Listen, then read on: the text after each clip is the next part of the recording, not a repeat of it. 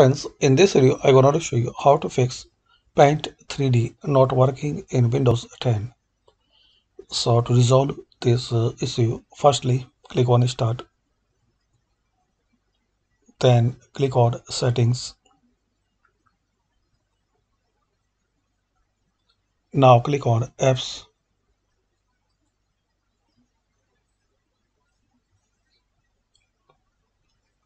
Now in this list, you need to find out Paint 3D.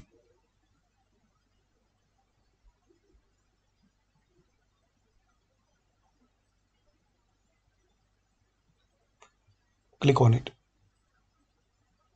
Now click on Advanced Options.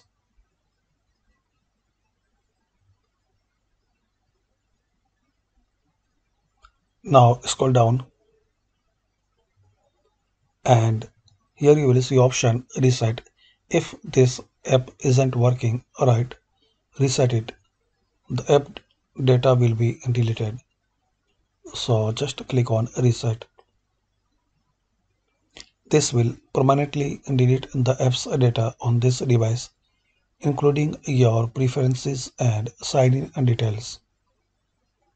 So if you are sure, click on reset.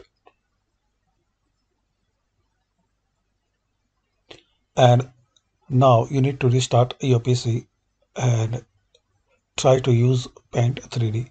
Hopefully guys, using this uh, simple step, we can fix this problem.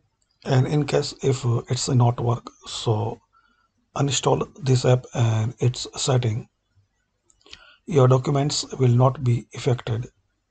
So firstly uninstall and then in Microsoft Store you need to install again. So all error and problem will be resolved. Thanks for watching. Please comment this uh, video work for you or not.